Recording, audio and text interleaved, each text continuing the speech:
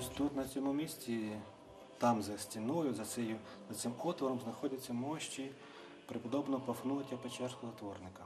Чому там, чому їх не бачимо відкриті раці, як інших святих, до яких можна прикластися, можна розглянути їхнє облачення, їхній одяг, можна дізнатися про їхнє життєє.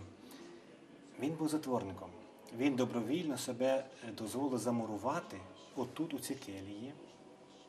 Він зрікався повністю миру його життя, його насолод.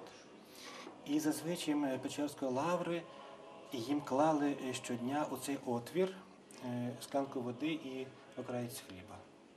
Це денна норма була. Коли їх не брали, значить е, монах, який там живе, він вже помер.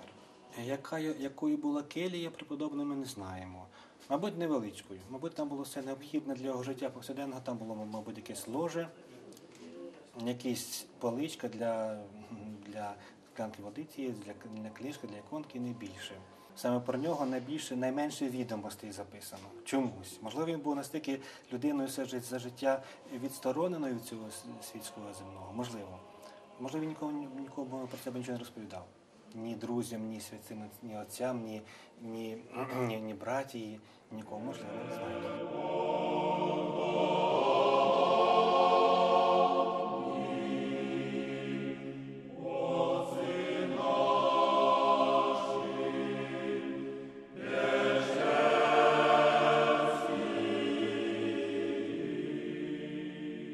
Преподобный Пафнутий, затворник, приняв монашеский постриг в Печерском монастыре, он непрестанно плакал о своих грехах.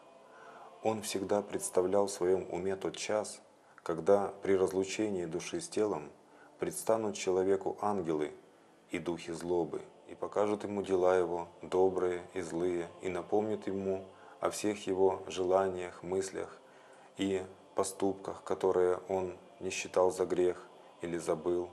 Страшное время для грешника при разлучении души с телом. Об этом преподобный размышлял, плакал и вздыхал.